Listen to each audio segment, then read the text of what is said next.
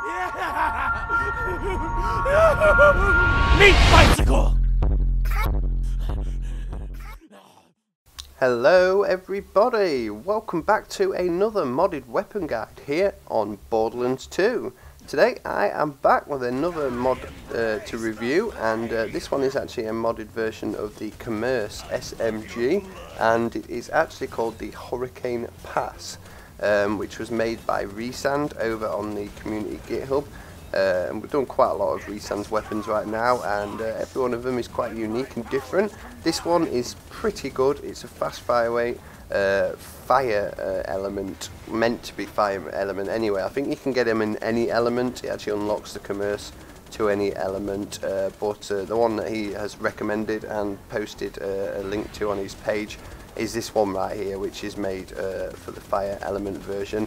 And it works pretty well really. So we're going to be testing it out in Southern Shelf Bay today. Just uh, opening with a couple of kills on the uh, the Mongs, uh, the Bullyrots whatever you want to call them.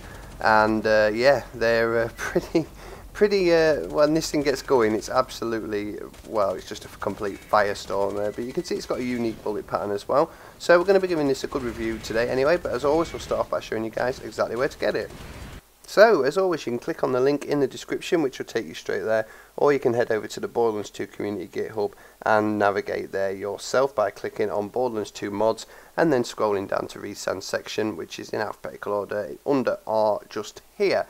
Click on that and that'll bring up all the weapons he's made so far. We're going to be looking for the Hurricane Pass, which is uh, located just here.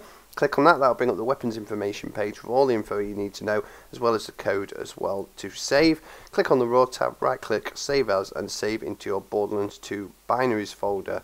And then uh, you're going to come in game and execute it. So first, a couple of things you need to know. Uh, you need to run the patch first. Uh, run the community patch uh, first and then execute the Hurricane Pass. Do it in the main menu uh, or your uh, commerce will get deleted by uh, sanity check. So then you've got to load your character afterwards, and and then you can go in. If you don't do that, it'll just straight out delete your commerce. So run the patch, run the Hurricane Pass.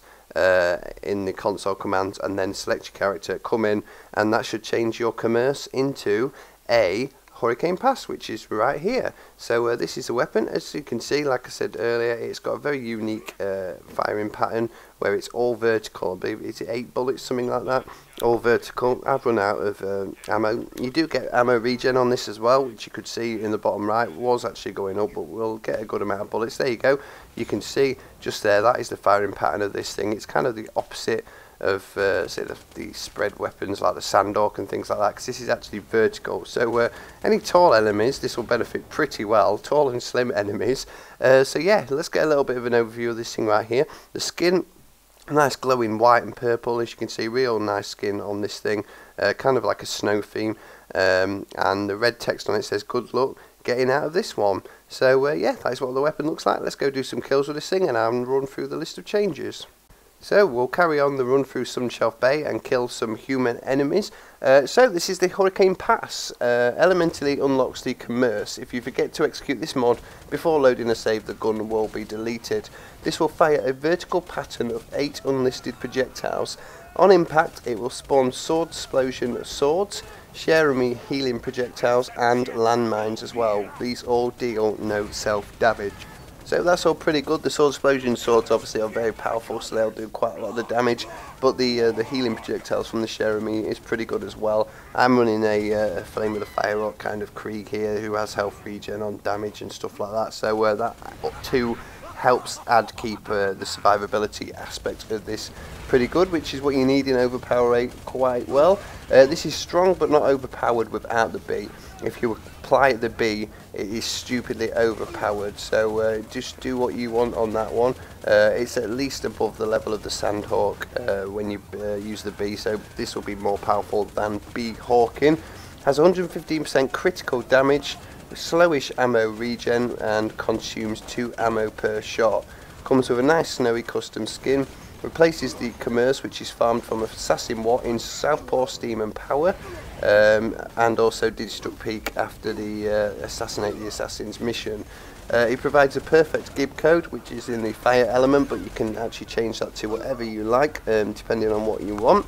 Um, but yeah, that is all the information you need to know right there. I think that's pretty damn good, really. Uh, I've actually enjoyed using this thing, and like I, uh, he said, it is very overpowered uh, with the Bee. I did try a quick test of it, but obviously I'm not going to show that on screen because I get told off for using the Bee too much. So uh, I'm just going to run around with the Flame of the Firehawk here uh, and uh, let that do quite a lot of the damaging as well. Obviously with this one being in the fire element, uh, things like these ironclad lunatics that you're about to see coming up do cause quite a lot of trouble really.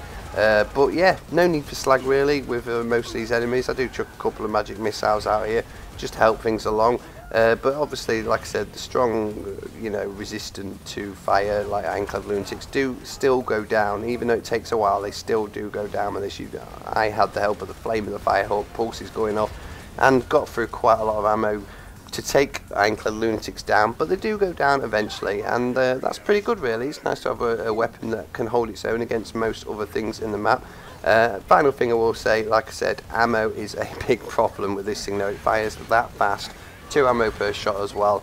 You're going to uh, rip through quite a lot of ammo using this but you can see it's got quite a large magazine size as well. It's actually got 136 rounds in the chamber which is uh, pretty good for an SMG really. You normally expect that with uh, real big heavy duty uh, LMGs assault rifles stuff like that not normally with SMGs but uh, yeah you can see the ammo bar going down pretty quickly. I started with well over a thousand ammo and now I have about 200 so uh, make sure you keep stocking up or you just stand in a corner and let the uh, ammo regen take flight. But anyway guys let me know what you think of this weapon down in the comments below. This was the Hurricane Pass made by Rhysand thank you guys for watching and I hope you enjoy and I'll see you in the next one